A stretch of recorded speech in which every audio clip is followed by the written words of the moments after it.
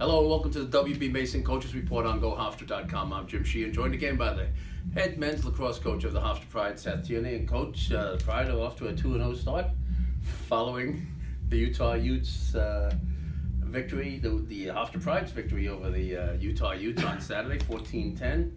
Uh, a thrilling game.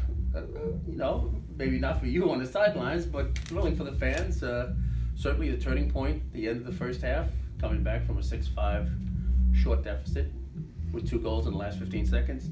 Yeah. Your assessment of the game. No, I mean, listen, we, we knew, uh, certainly, we knew we were going to have a challenging time, um, you know, making sure our guys know that this is not a first year Division One program coached team. Uh, they've got a couple of guys that can, that they can play. They got a couple of guys that transferred in. They've got a great staff, and you know, in the world uh, that we live in, um, sometimes that's uh, easier said than done. And uh, so we knew it. Uh, we talked about it all week. Uh, you take your hat off to, to Utah. Um, they're organized. They're well coached.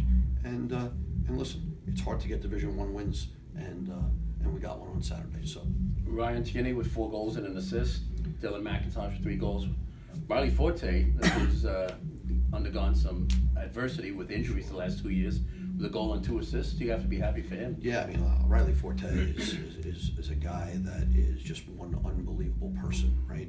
And uh, the things that he has been through when when he did score, um, and he's very close with Ryan, and they hooked up together with a, uh, a goal and an assist there. When he did score, um, you know, there was just that feeling inside of him. Just I'm so proud of this kid because there's times where he might even thought about walking away from lacrosse after some of the adversity that he's been through, and now he's back and he just cherishes every moment out there. That turning point at the end of the first half, uh, Mark Ellis with a big goal and then that carried over right into the third quarter yeah. from seven six, and then all of a sudden it's it's a, it's a three. yeah, I mean when we watch film and it wasn't a great film session, and no, really there's no good film sessions, right? I mean unless you want to make a, a, highlight film, there's always things that on a film it makes it look worse, right? Because you know you don't you can't get the emotion of it, you can't get the the speed of it. Um, but when we watched film. Um, there were times, and I'm sure Utah may feel the same way. There are times where we just had um, we had chances. Uh, Ryan had a layup. James Philbin had a layup. Uh, we maybe hit a pipe. Uh, we had a breakdown defensively, and before you know it, you, those things add up to like a four or five goal swing.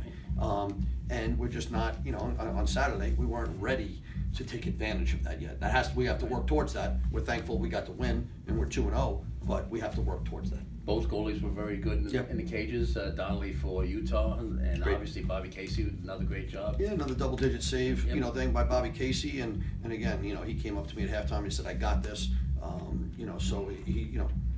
There wasn't many goals to blame Bobby Casey. We had a couple breakdowns. They scored a couple, you know, at the end there uh, to make it 14-10. And um, you know, again, you have to be obviously there was a there were adverse conditions at least cold weather for both teams, as you mentioned. Yeah. But going from four goals to 14 goals was a good jump. Yeah, yeah, yeah. There's no question, no question. And uh, you know, we uh, we had a bunch of couple in transition. We had a couple on man up. Um, you know, I think we did a decent job at the face-off X. We got to make it cleaner a little bit, uh, but but Herbs did a good job, and um, you know we just got to get back to we got to get back to what Hofstra is good at, and uh, you know, and, and that's what we're, we're hopeful for this week. And speaking of this week, a big one against the uh, Villanova Wildcats. Mm-hmm. They uh, they had a nice win last week against number one Yale, the defending national champions, yes. uh, in overtime, 11-10. Uh, Wildcats one and one this year, uh, yeah. with a with a loss to Penn, Penn State. State. Yeah, yeah. I mean they had a, they were I think they were missing a few guys for the Penn State game. I don't really know what the whole story was, but they were at full I think mostly full strength versus Yale. Uh, Yale's first game, I believe. Uh, so it's first time them them getting out. And uh, and Villanova's good. They're a good team. They're well coached. They are hard to scout. They you know they play a, a very loose, free flowing offense.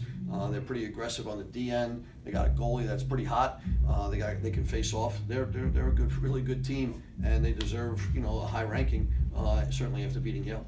Joey Ficaro, senior for the Wildcats, four goals. Keegan Khan with four goals also.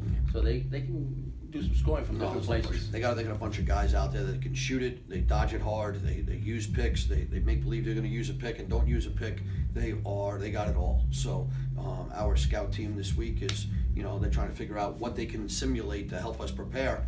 And the problem is it's really hard to scout them. But again, great opportunity for our team to go down there. Uh, and uh, again, we've got a, a full week of practice. We got to get under our belt and we'll get rolling.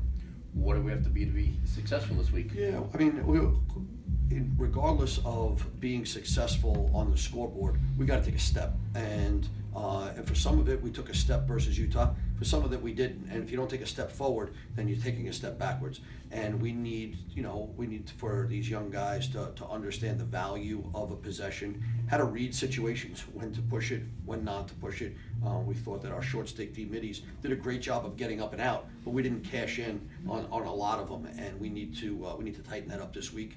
Um, and again, we need we need the game. We need to play fast, but we need to think slow.